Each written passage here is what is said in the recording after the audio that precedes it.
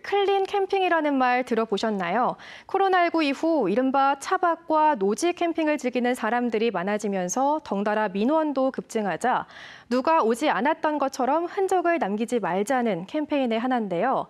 그런데 아직도 눈살을 찌푸리게 하는 캠핑족들이 여전합니다. 이지연 기자가 그 현장을 보여드립니다.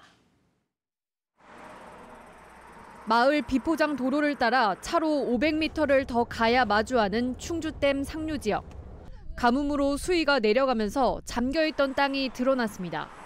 그러자 찾아든 캠핑족. 어김없이 흔적을 남깁니다.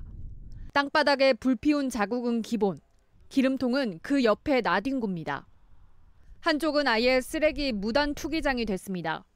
먹다 남은 음식이며 유리병과 페트병이 한데 뒤섞여 악취와 파리가 들끓고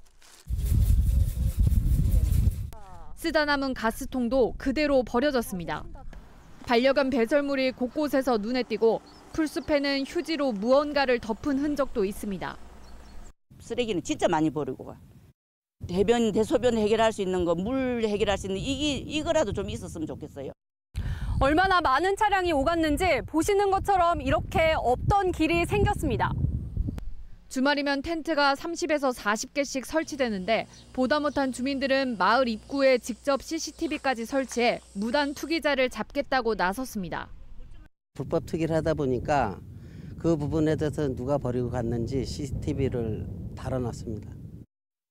법으로 지정된 상수원 보호구역이나 하천법에 따라 캠핑 금지가 고시된 구역이 아니면 단속도 힘듭니다. 당장은 개개인의 양심에 기대야 하는 상황. 클린 캠핑이라는 구호가 무색합니다. MBC 뉴스 이지연입니다.